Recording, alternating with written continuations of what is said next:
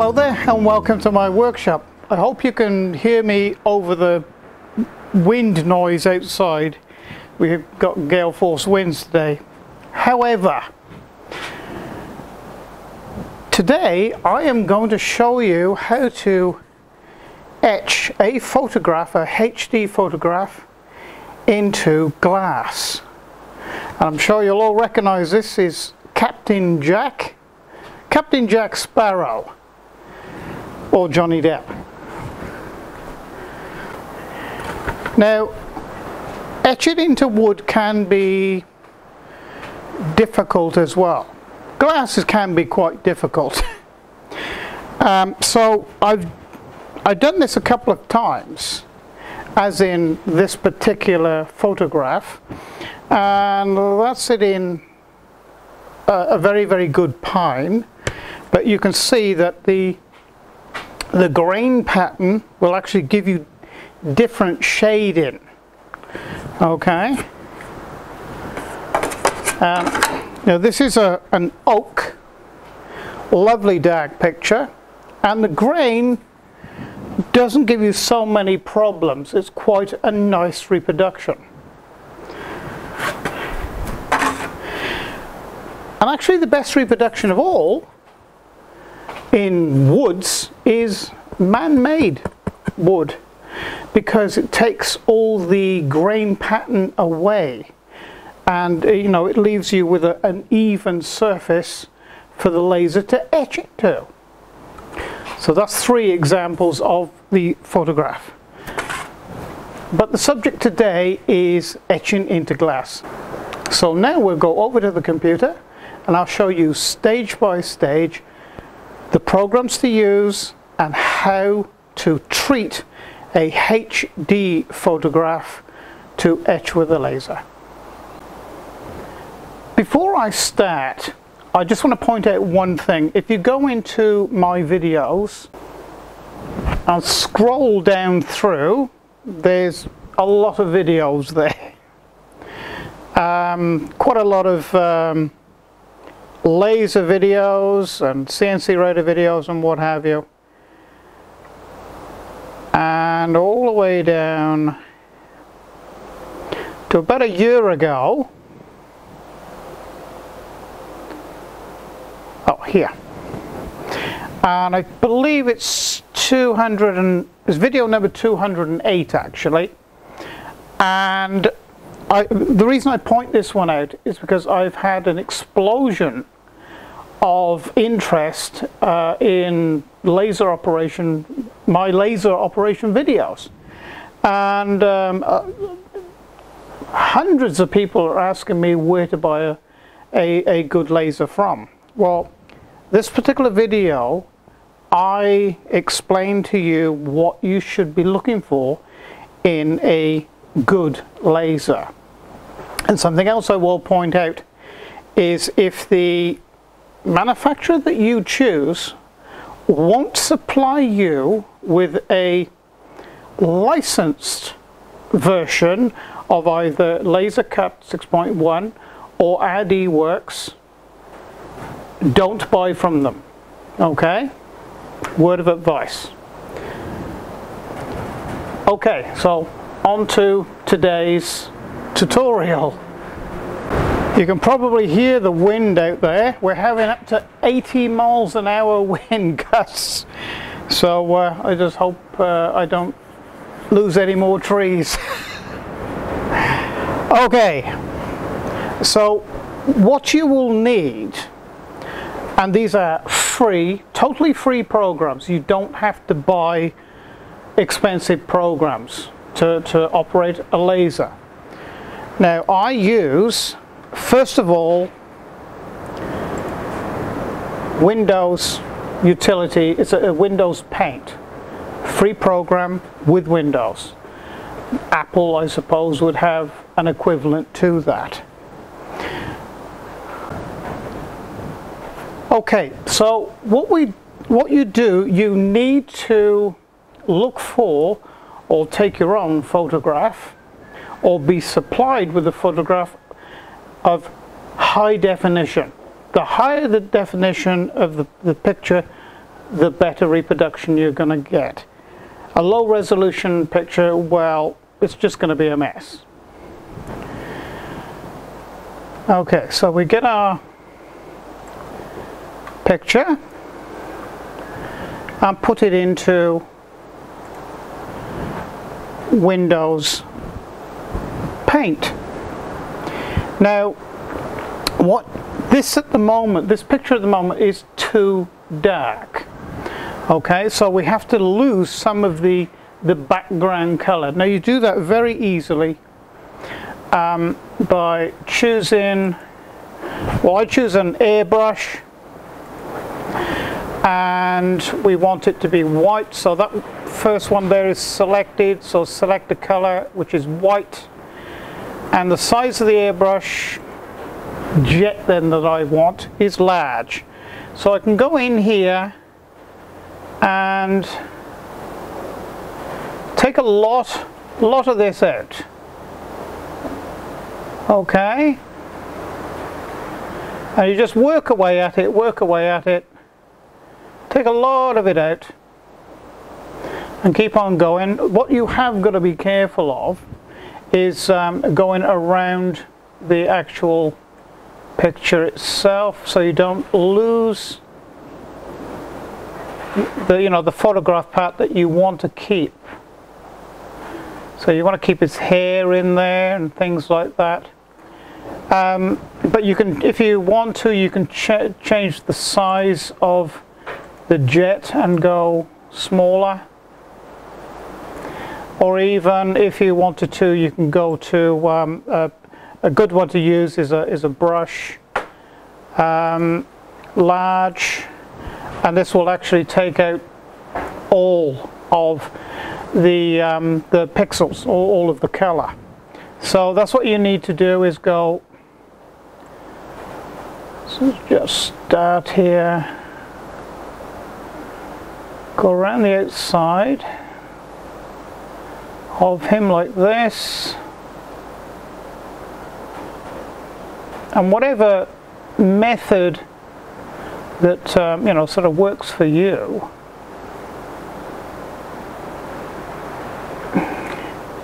So I'm just showing you briefly here. I mean you know it's much more fun having a go at this yourself. But you take out all the areas of color that you don't want. And when we go to machine this or etch this with the laser, it will become apparent to you uh, in a very short space of time. Anyway, so you get rid, you know, it's quite time consuming, so I won't sort of bore you too much. And um, so, you know, you get rid of the color that you, you don't want. And it's preferable not to have, you know, sort of a full black, but just have the main image, uh, you know, you want to keep and you don't touch that at all. Okay? So, um, I'll, I'll continue doing this now and uh, I'll cut the, the video and bring you back in when I've finished, okay? Okay. So I have now got rid of all the color that I don't want. Now bear in mind this this is a HD photograph, all right? So it's it's rather big. It's uh, in actual life size. It's yay big. Um, you know, we're going to condense that down to like a postcard size. Um, so what we need to do now is to save this as a bitmap because that is the language that well laser programs and um, other art computer programs that's what they understand and we're going to use another free program in a minute to do a process called dithering in a minute and it, it's preferable to have a bitmap picture for that process. So here we go. So we just come up here to File, Save As, oh, no, not Save As, sorry. So come up here, open up, Save As, bitmap picture. Save as bitmap picture.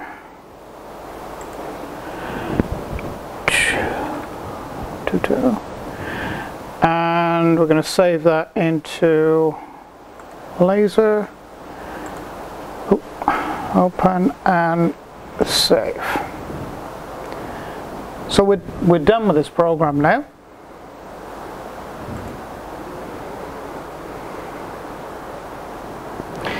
So the next program we're going to use is another free program, free for download, free to use, and I recommend it because it's a very powerful program, and that is GIMP. Okay, so we'll we'll bring up GIMP, and now we will bring our picture in.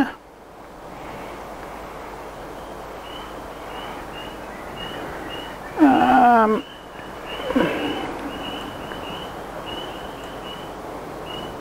and you can see it is a it's a big picture. It's um, 800 millimeters, which is not far off a yard wide. Uh, and you can see we've cleaned up all this area, and we just have the main bust now, or head of our subject that we want to etch into the glass. Um, so what we need, we need to do two things here with this program. Even though we see this as black and white, there's about over 200 different colors in there that we, we just can't pick up with our eyes. So we need to make sure that we get rid of all the uh, other colors in there and just we just want grey or black and white and all the colors in between and get rid of all the other colors that may be in there. I know that's in there. So we go into image, go to mode, grayscale. So now that's removed all the colors that are in the background. Then you go here to filters and distorts and newsprint. Now, a few things here we need to alter. We want the smallest cell size possible, in other words, pixel size.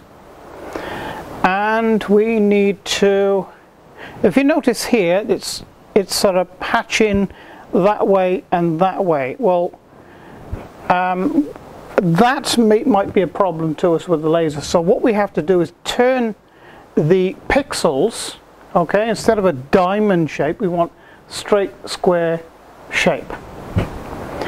So we're going to turn that now, and you do it with this here angle. So you just catch all the slider, Oop. pull it back to.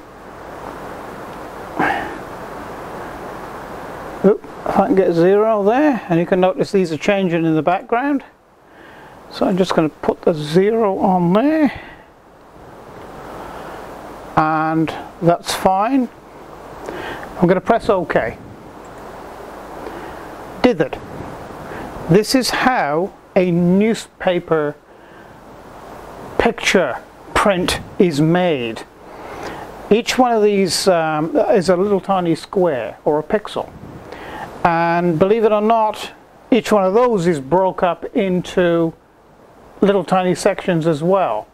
And it's the amount of should we say, I'll show you in the next program exactly what that is. And you'll be able to understand it a little better. So we're going to save this at the moment. Well, and we're going to export that. Um, now then, we want to export that as a Windows bitmap export.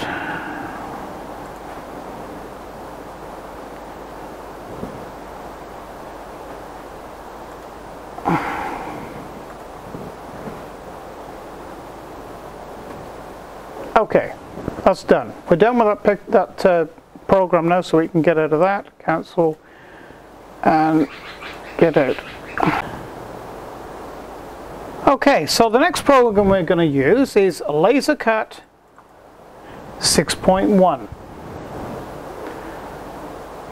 Now this is the program where we set it up to do the engraving by the laser and it's this is the one where you set all the power settings and even manipulate the picture itself further. Okay, so we come up here to import our picture off the desktop. Is there. Scroll down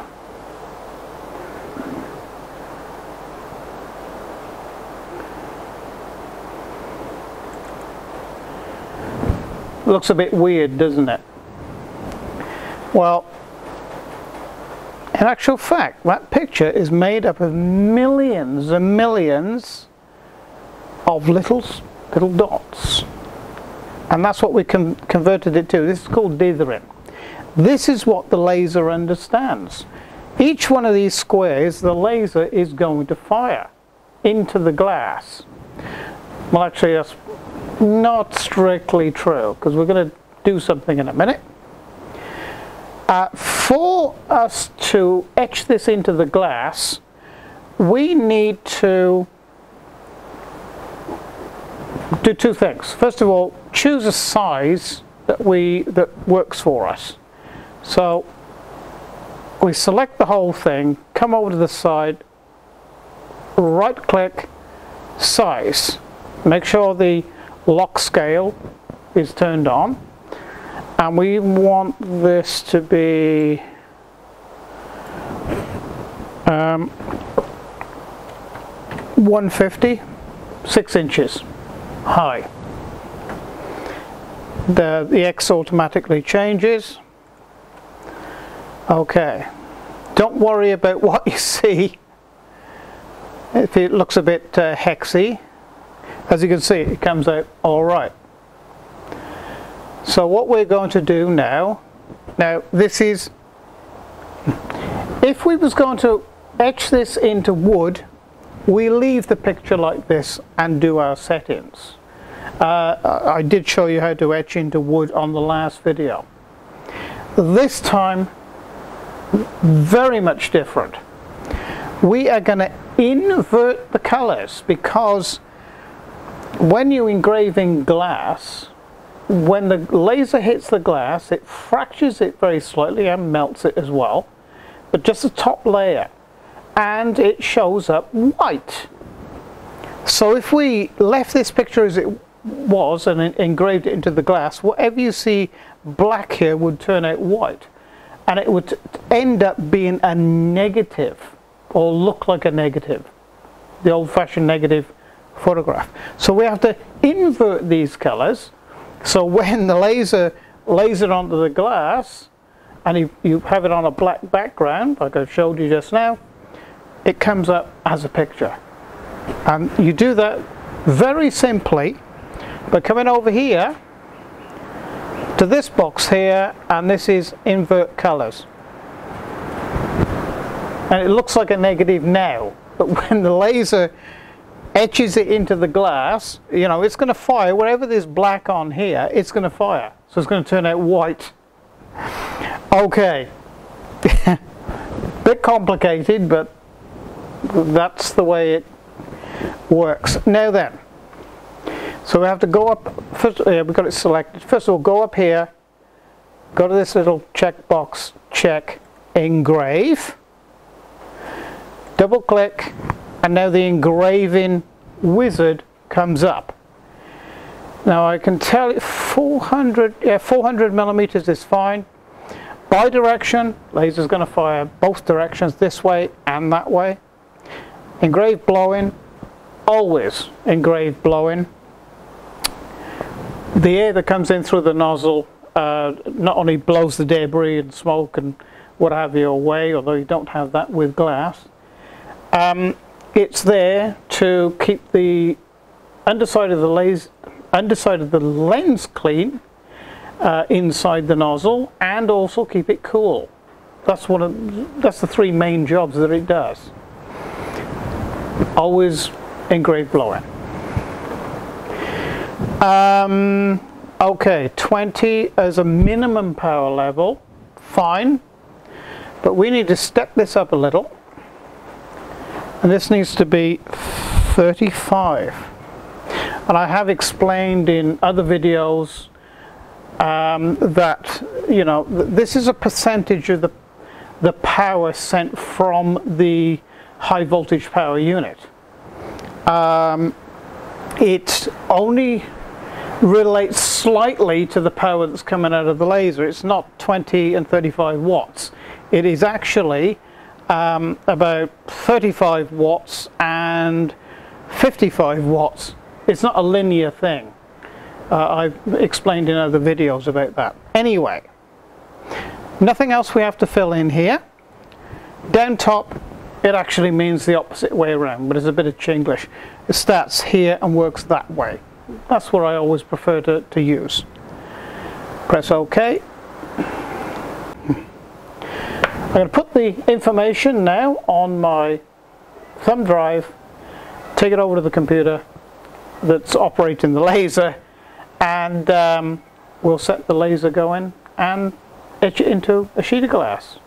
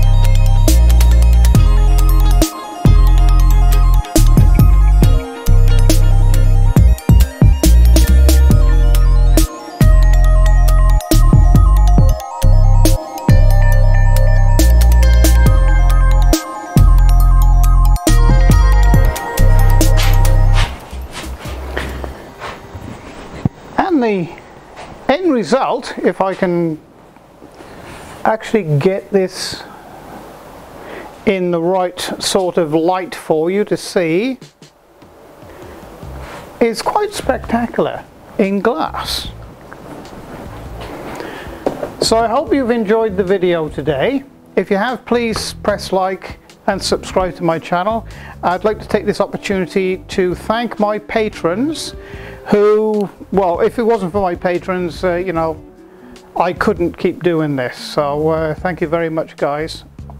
And if you would like to become a patron, uh, the information is down below this uh, video. So on my channel, you will see wood turning, CNC routing, CNC uh, milling, uh, actually conversions on, on uh, CNC machines as well, as in a lathe and a milling machine to CNC, and um, also laser operation, everything to do with the laser. So uh, please in the comments if it's something that you want to specifically see or don't understand, um, you know, I will do my best to um, include it into the next video for you. So again, thank you for watching and uh, it's bye for now.